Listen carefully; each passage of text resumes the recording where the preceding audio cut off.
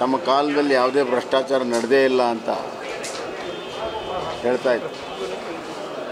ಭ್ರಷ್ಟಾಚಾರ ನಡೀಲಿಲ್ಲ ಅಂದರೆ ಅವ್ರ ಕಾಲದಲ್ಲಿ ಹಲವಾರು ಪ್ರಕರಣಗಳ ಬಗ್ಗೆ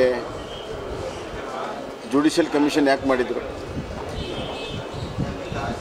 ಜುಡಿಷಿಯಲ್ ಕಮಿಷನ್ ಯಾಕೆ ಮಾಡಿದರು? ಹಲವಾರು ಕೇಸ್ಗಳಲ್ಲಿ ಇನ್ಕ್ವೈರಿ ಯಾಕಾಯಿತು? ಕೆಲವು ಪ್ರಕರಣಗಳಲ್ಲಿ ಸಿ ಬಿ ಐ ಕೂಡ ಕೊಟ್ಟಿದ್ದರು ಎ ಸಿ ಬಿ ಮಾಡಿದ್ದೇ ಪ್ರಕರಣಗಳನ್ನು ಮುಚ್ಚಾಕೋ ಸಲುವಾಗಿ. ಸುಮಾರು ಐವತ್ತಕ್ಕಿಂತ ಹೆಚ್ಚು ಪ್ರಕರಣಗಳಲ್ಲಿ ಬಿ ರಿಪೋರ್ಟ್ ಕೊಟ್ಟಿದ್ದಾರೆ. ಅವೆಲ್ಲವೂ ಕೂಡ ಲೋಕಾಯುಕ್ತಕ್ಕೆ ರೆಫರ್ ಆಗ್ತಾ ಇದ್ದಾವೆ.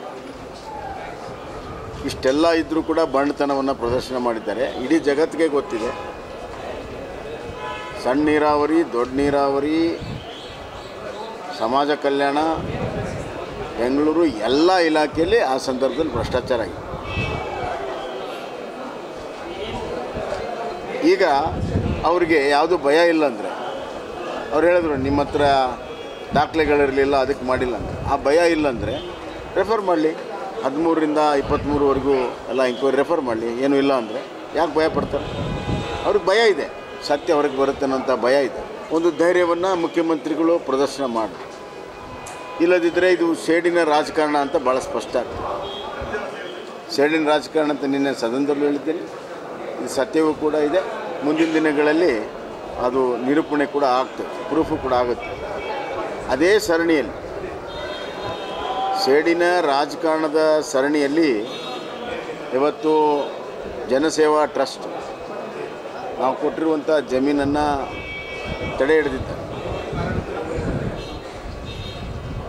ಜನಸೇವಾ ಟ್ರಸ್ಟು ತಂದೆ ಆದಂಥ ಸೇವೆಯನ್ನು ಮಾಡಿದೆ, ಇತಿಹಾಸ ಇದೆ ಭಾಳಷ್ಟು ವಿದ್ಯಾರ್ಥಿಗಳಿಗೆ, ಮಕ್ಕಳಿಗೆ ಭಾಳ ದೊಡ್ಡ ಪ್ರಮಾಣದ ಸೇವೆಯನ್ನು ಮಾಡಿರುವಂಥದ್ದು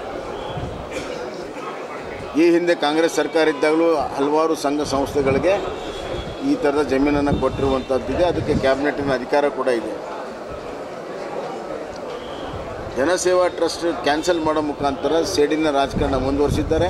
ಇನ್ನೂ ಹತ್ತು ಹಲವಾರು ಪ್ರಕರಣಗಳು ಮಾಡ್ತಾರೆ ಅನ್ನುವಂಥ ಒಂದು ಸುದ್ದಿ ಕೂಡ ನಮಗಿದೆ. ಜನ ಇದನ್ನು ಯಾ ಇದನ್ನು ಯಾರೂ ಕೂಡ ಒಪ್ಪಕ್ಕೆ ಸಾಧ್ಯ ಇಲ್ಲ. ಒಂದು ಸರ್ಕಾರ ಮಾಡಿರೋದನ್ನು ಎಲ್ಲವನ್ನೂ ಕೂಡ ನಾವು ಮುಂದಿನ ಸರ್ಕಾರದಲ್ಲಿ ತೆಗೆದು ಹಾಕ್ತೇವೆ ಅನ್ನುವಂಥ ಧೋರಣೆ ಜನ ಒಪ್ಪೋದಿಲ್ಲ. ಇವ್ರನ್ನ ಆರಿಸಿ ಕಳಿಸಿರುವಂಥದ್ದು ರಾಜ್ಯದ ಅಭಿವೃದ್ಧಿ ಮಾಡೋ ಸಲುವಾಗಿ, ಜನ ಕಲ್ಯಾಣ ಮಾಡೋ ಸಲುವಾಗಿ. ಈ ಥರದ ಸೇಡಿನ ರಾಜಕಾರಣ ಅಲ್ಲ.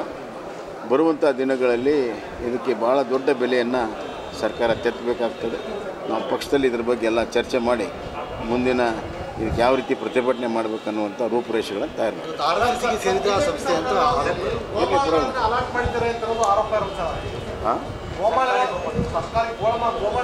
ಈಗ ಗೋಮಾಳಗಳ ಗೋಮಾಳಗಳ ಹಿಂದಿನ ಸರ್ಕಾರಗಳಲ್ಲೂ ಅಲಾಟ್ಮೆಂಟ್ ಆಗಿದೆ. ಗೋಮಾಳಗಳ ಬಗ್ಗೆ ಅಂತಿಮ ತೀರ್ಮಾನ ಮಾಡುವಂಥ ಅಧಿಕಾರ ಕ್ಯಾಬಿನೆಟ್ಗಿದೆ ಅದು ಮಾಡಿದೆ